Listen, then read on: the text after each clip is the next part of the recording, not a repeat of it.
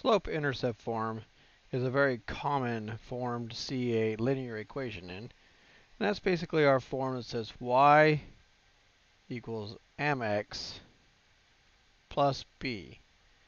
And again, like our other forms, the title makes sense because in this case we need to have the slope and we need to have this value here which is really our y intercept. So we need the slope and the intercept in order to complete this form.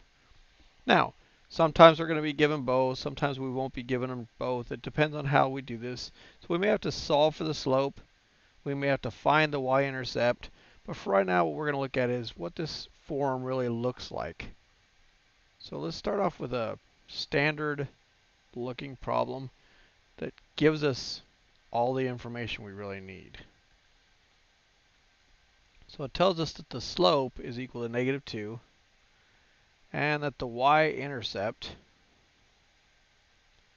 which is a point, so remember it's got to be an x and a y, but our x value will always be 0. That's our x value.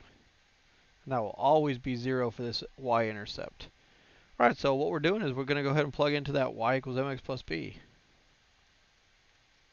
Okay, and remember, we're really plugging in for those two values right there. So we've got y equals, okay, well, what was our slope?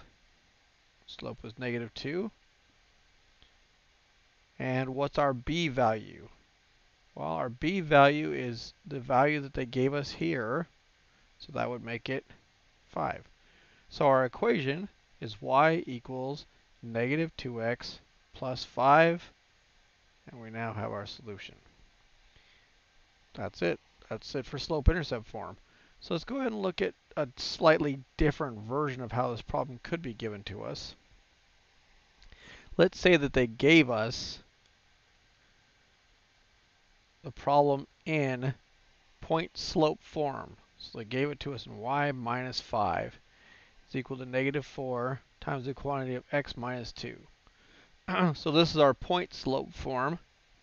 And we want to convert this into slope intercept.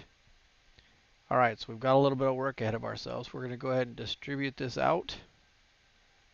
We're going to multiply that to both parts of these. So I still have my y minus 5. And on this side now I've got negative 4x, because negative 4 times x, and then negative 4 times the negative 2 means I've got positive 8. All right, now if we go back to some of the things we've talked about in the past, how do I move that negative 5? We go ahead and add 5 to balance this. And we're going to find its like term, which would be the 8.